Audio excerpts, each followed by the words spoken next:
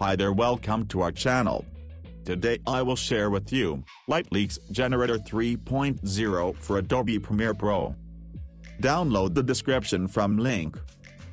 Now I'm extract here this file. This is Adobe Premiere Pro preset.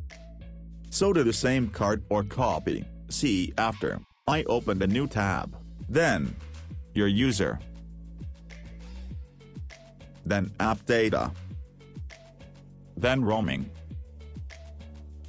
then Adobe,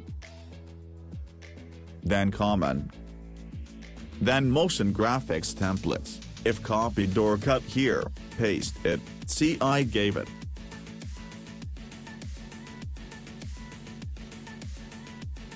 I am done. Now I am opening Adobe Premiere Pro. See. I added two photos here. You can add your video if you want. Now look I'm taking an adjustment layer.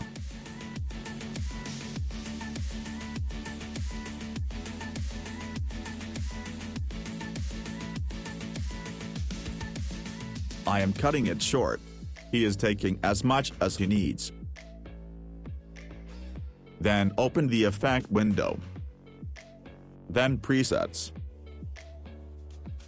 Then Slava Video. Slaves, then leaks presets v3. You can see here.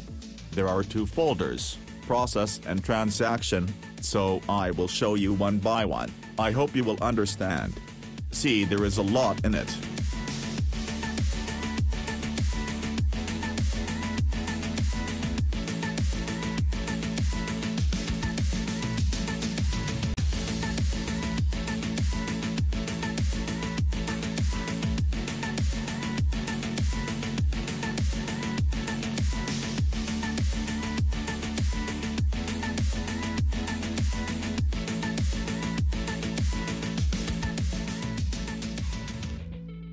The larger the adjustment layer, the slower the animation will show.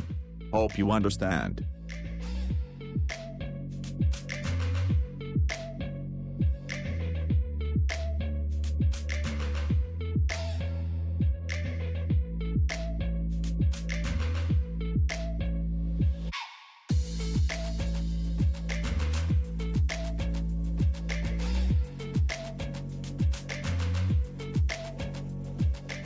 If there is a problem, of course, let us know in the comments.